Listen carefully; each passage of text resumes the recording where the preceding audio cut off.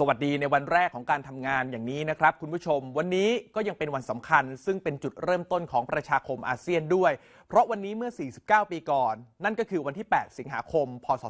2510 เป็นวันที่ก่อตั้งสมาคมอาเซียน ซึ่งเกิดขึ้นที่กรุงเทพประเทศไทยของเราครับ เรียกว่าปฏิญญากรุงเทพ โดยครั้งแรกนั้น มีสมาชิกเพียง 5 ประเทศก็คือประเทศไทย อินโดนีเซีย ฟิลิปปินส์มาเลเซีย และสิงคโปร์ก่อนที่ต่อมาจะมีประเทศต่างๆ ทยอยเข้าร่วมเป็นสมาชิกจนถึง 10 ประเทศในปัจจุบันนี้นำมาสู่ความร่วมมือและการเป็นประชาคมอาเซียนอย่างเต็มรูปแบบเมื่อวันที่ 31 ธันวาคม 2558 ที่ผ่านมาครับส่วนประเทศไทยของเราเมื่อวานนี้ก็เป็นวันสำคัญอีกหนึ่งวันที่กำหนดชี้ทางประเทศ อย่างวันออกเสียงประชามติร่างรัฐธรรมนูญ ซึ่งผลก็ออกมาแล้วว่าประชาชนคนไทยส่วนใหญ่รับร่างรัฐธรรมนูญ ฉบับพศ 2559 นี้ รวมถึงคำถามพ่วงด้วยนะครับ เมื่อวานนี้นอกจากประชาชนทั่วประเทศบุคคลสำคัญ นักการเมือง นักวิชาการต่างๆ และอีกหลากหลายอาชีพแล้ว ศิลปินดาราคนบันเทิงหลายๆ คนก็ออกไปใช้สิทธิ์ ลงประชามติครั้งนี้ด้วยพร้อมข้อคิดและความเชื่อมั่นดีๆครับ นอนสำหรับคนบันเทิงที่ขาดไม่ได้ เป็นแบบอย่างที่ดีออกไปใช้สิทธิ์เลือกตั้งทุกครั้ง รวมถึงการลงประชามติเมื่อวานนี้ ก็ต้องซูเปอร์สตาร์อันดับหนึ่งเมืองไทยเบิร์ตธงชัยแมคอินไตย์ที่เดินทางไปออกเสียงที่หน่วยเลือกตั้งเดิม ซอยวชิรธรรมสาธิต 43 ท่ามกลางเหล่าแฟนคลับและสื่อมวลชนมากมายเหมือนเดิม พร้อมยืนยันว่าภูมิใจกับการเป็นคนไทย การมีสิทธิ์ และเชื่อว่าประเทศไทยกำลังจะดีขึ้น ดีใจครับที่ที่ได้มาทำหน้าที่ของตัวเองอีกครั้งหนึ่งครับมาใช้สิทธิ์ของตัวเองอีกครั้งหนึ่งอยากให้พวกเราทุกคนรู้สึกเหมือนกันที่ว่าทุกอย่างกำลังจะดีนะครับครับเพียงโอเพียงขอทุกอย่างดีๆเช่นเดียวกับศิลปินนักร้องหนุ่มหล่อจากอีกค่าย อย่างฟิล์มรัฐภูมิโตคงทรัพย์ที่ก็ออกไปใช้สิทธิ์ลงประชามติพร้อมกับคุณแม่แถวแยกเมงจ่าย และเห็นว่าสิทธิ์ของทุกคนเป็นสิ่งสำคัญ รวมถึงอนาคตประเทศชาติกำลังจะไปในทางที่ดีค่ะ ในส่วนตัวผมมองว่าทุกครั้งนะครับที่เกิดการเปลี่ยนแปลงมันมีความสำคัญหมดนะครับถ้าเกิดว่าเราเนี่ยออกมาใช้สิทธิ์ที่มีประโยชน์นะครับในการออกมาออกความคิดเห็นนะครับมันก็จะเป็นตัวเลือกที่ไปสู่การบริหารของคณะรัฐบาลนะครับในในการออกมาใช้สิทธิ์ของทุกคนสำคัญหมดนะครับไม่ใช่ไม่สำคัญ ในยุคที่มันอยู่ในในช่วงที่เกิดการเปลี่ยนแปลงเนี่ยมันจะทุกคนจะรู้สึกแบบนิ่งๆกันแบบนี้นะครับหรือบางคนก็อาจจะ จะดาวๆหน่อยอะไรเงี้ยก็อดทนครับผมว่าพอเปลี่ยนแปลงแล้วเนี่ยอะไรดีๆ มันจะกลับคืนมา แล้วมันจะมุ่งไปสู่ทางที่ดีกว่าอย่างแน่นอน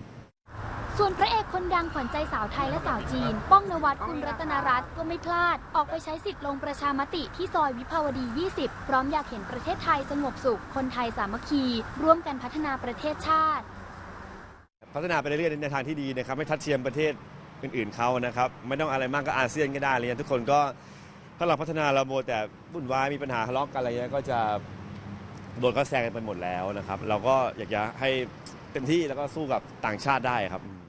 หรือนักแสดงพิธีกรหนุ่มคนรุ่นใหม่อย่างจอห์นวินยูวงศ์สุรวัตรก็ไม่ขอพลาด ไปใช้สิทธิ์ออกเสียงประชามติเช่นกัน ที่ย่านตลาดบางเขนหลักสี่ค่ะ รวมถึงศิลปินนักร้องนักดนตรีรุ่นใหญ่เจ้าของตำนานบทเพลงจิกโกอกหักที่ยังอยู่ในใจหลาย ๆ คน ป้อมอัศนีโชติกุล แม้จะวัยถึงหลักหกแล้ว แต่ก็ยังไม่ยอมทิ้งสิทธิ์ออกไปลงประชามติเมื่อวานด้วยค่ะ นอกจากวันสำคัญเหตุการณ์สำคัญอย่างการลงประชามติเมื่อวานแล้ว ในวันเสาร์อาทิตย์ที่ผ่านมามีคอนเสิร์ตใหญ่ๆ ที่หลายๆคนอยากจะไปชม แต่อาจจะพลาดไม่ได้ไปชม เพราะบัตรทั้งสองรอบจำหน่ายหมดเกลี้ยง วันนี้รายการของเราก็เลยนำมาให้ชมกันครับ เหล่าศิลปิน นักร้องคนดนตรีหลากหลายรุ่นกว่า 50 ชีวิต ที่ต่างก็พร้อมใจกันไปถ่ายทอดน้ำเสียงผ่านบทเพลงรักสุดไพเราะ ที่เคยโด่งดังในช่วงยุค 70 ถึง 90 ซึ่งยังคงตราตรึงอยู่ในหัวใจของใครหลาย ๆ คน ในคอนเสิร์ตใหญ่การกุศลหารายได้ไปมอบให้มูลนิธิศูนย์มะเร็งเต้านมเฉลิมพระเกียรติที่กระแสดีมาก ๆ เพราะบัตรขายหมดเกลี้ยงหลังเปิดจำหน่ายเพียงแค่หนึ่งสัปดาห์เท่านั้นย่าง The Lost Love Song to be Continue ร้อยเพลงรักที่กลับมาที่ Royal Paragon Hall ศูนย์การค้าสยามพารากอนเมื่อเย็นวันเสาร์และอาทิตย์ที่ผ่านมา ซึ่งก็มีบทเพลงเพราะๆให้ได้ย้อนวันวานๆกันกว่า 100 บทเพลง ตลอดคอนเสิร์ตเกือบ 10 ชั่วโมงเลยละค่ะ โดยแบ่งออกเป็น 12 part ไม่ว่าจะเป็น part เพลงรักของเธอ ที่รวมผลงานเพลงของศิลปินหญิงชื่อดังของไทย อย่างเช่น เพลงรักเธอคนเดียวของแอนนันทนาบุญหลง ไม่มีฝีมือโดยตั๊กลีลา ขอให้เหมือนเดิมของสาวร่างท้วมอินบูโดกัน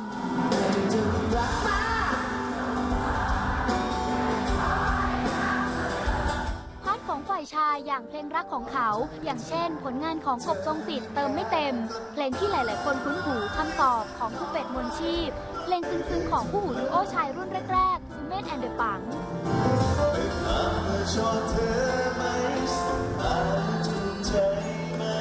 หรือจะไปเอาใจคอเพลงเพื่อชีวิต ซึ่งก็ได้หนึ่งในสมาชิกแห่งวงเขาควาย เขียวคาราบาว ไปโชว์น้ำเสียงในเพลงดังสัญญาณหน้าฝน พร้อมกีตาร์คู่ใจ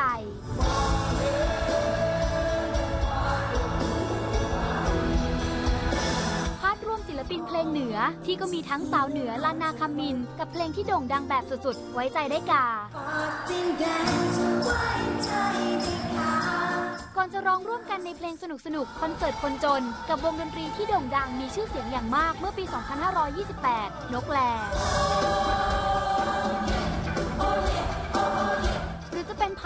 ศิลปินชายหญิงระดับดีว่าดีโวของเมืองไทย อย่างเช่น ตั้มสมประสงค์ หนุ่มฟอร์ดศพชัยไกรยูนเสนตุกวิยดา มาริวันเจมีนาและอีกเพียบ รวมถึงบทเพลงความหมายดีๆ ให้กำลังใจผู้ป่วยโรคมะเร็ง อย่างเรามีเรา จากเหล่าศิลปินและแขกรับเชิญที่เห็นอยู่นี้ด้วยค่ะ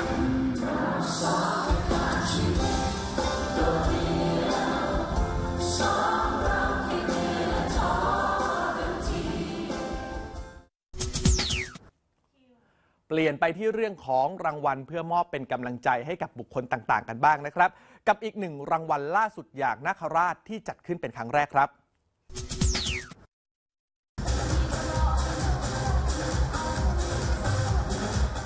สองนักร้องพี่น้องต่างไซส์กระแตกระต่ายอาสยาม ไปโชว์ร้องโชว์เต้นในเพลงดังของนักร้องลูกทุ่งรุ่นใหญ่ เจ้าของฉายา The Man Lion City หรืออาชายเมืองสิงห์อย่างเมรี ที่นำไปทำดนตรีใหม่ ให้มีความรุ่นสมัยมากยิ่งขึ้น และอีกหนึ่งนักร้องลูกทุ่งชายยอดนิยมจากแดนอีสาน ที่โด่งดังเป็นที่รู้จักจากเพลงใส่ว่าสิบอดทิมกันกองห้วยไร่ เพื่อสร้างสีสันทั้งยังได้รับคัดเลือกให้ได้รับรางวัลนาคราช ซึ่งจัดขึ้นเป็นครั้งแรกอีกด้วย โดยมอบให้กับบุคคลในแวดวงต่างๆ ที่มีผลงานคุณภาพ ประพฤติปฏิบัติตนเป็นแบบอย่างที่ดีต่อสังคม ตลอดจนจิตอาสาและศิลปินดาราหลาย ๆ ท่าน แบบไม่แบ่งค่ายแยกสังกัด เพื่อเป็นการยกย่องเชิดชูเกียรติเป็นขวัญและกำลังใจ ให้ทำความดีสร้างสรรค์ผลงานดี ๆ ต่อไป ที่ก็มีทั้งทายาทของราชาเพลงลูกทุ่งผู้ล่วงลับ สุรชัยสมบัติเจริญ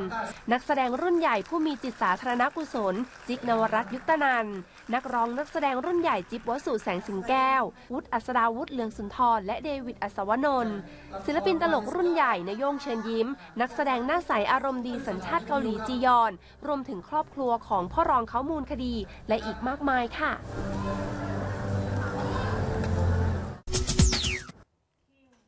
มาถึงช่วงที่หลาย ๆ คนรอลุ้นแล้วนะครับ กับคำถามร่วมสนุกของสัปดาห์ก่อนที่คุณผู้ชมตอบถูกและโชคดีมีรายชื่อขึ้นดังนี้ครับ คุณผู้ชมที่ไม่มีรายชื่อไม่เป็นไรครับ มาร่วมสนุกกับคำถามครั้งใหม่ประจำสัปดาห์นี้ของเราดีกว่าครับ คำถามร่วมสนุกประจำสัปดาห์นี้ เราก็ขอถามเกี่ยวกับข่าวที่นำมาให้ชมกันนะคะว่า คอนเสิร์ตใหญ่ที่จัดขึ้นเมื่อวันเสาร์อาทิตย์ที่ผ่านมา อย่าง The Lost Love Song To Be Continue ร้อยเพลงรักที่กลับมา เป็นคอนเสิร์ตรวมเพลงรักชื่อดังในอดีต ตั้งแต่ยุคใดถึงยุคใด ระหว่างข้อ 1 ยุค 60 ถึงยุค 80 ข้อ 2 ยุค 70 ถึงยุค 90 หรือข้อ 3 ยุค 80 ถึงยุคปัจจุบันค่ะ ทราบคำตอบแล้วก็รีบๆส่งกันเข้ามานะคะ เรามีของรางวัลรออยู่เพียบเลยละค่ะ รีบๆ ส่งคำตอบเข้ามานะครับ จะทางไปรษณีย์อีเมล หรือ Facebook Fanpage ก็ได้ ส่วนตอนนี้ไปชมดีกว่า ว่าวันพรุ่งนี้จะมีการจัดงานจัดกิจกรรมอะไรที่น่าสนใจให้เลือกไปเที่ยวไปพักผ่อนกันบ้าง ในช่วงพรุ่งนี้ไปไหนครับเริ่มด้วยนิทรรศการร้อยนิทัศน์ยนต์รัตนโกสินทร์ที่อาคารนิทัศน์รัตนโกสินทร์ต่อด้วยงานมาลัยดอกไม้ไทยให้แม่ ที่พิพิธภัณฑ์วัฒนธรรมดอกไม้ ปิดท้ายด้วยคอนเสิร์ต Kenny Rogers Final World Tour The Gamblers Last Deal ที่ Royal Paragon Hall ศูนย์การค้าสยามพารากอนค่ะ กลับมาพบกันใหม่อีกครั้งวันพุธเลยนะครับ พรุ่งนี้รายการของเรางด 1 วันครับ เนื่องจากจะมีการถ่ายทอดการจัดงานสโมสรสันนิบาตเฉลิมพระเกียรติสมเด็จพระนางเจ้าสิริกิติ์พระบรมราชินีนาถ เนื่องในโอกาสพระราชพิธีมหามงคลเฉลิมพระชนมพรรษา 7 รอบ 12 สิงหาคม 2559 ที่ทำเนียบรัฐบาลครับ สำหรับวันนี้เวลาหมดลงแล้วคงต้องลากันไปก่อน สวัสดีครับ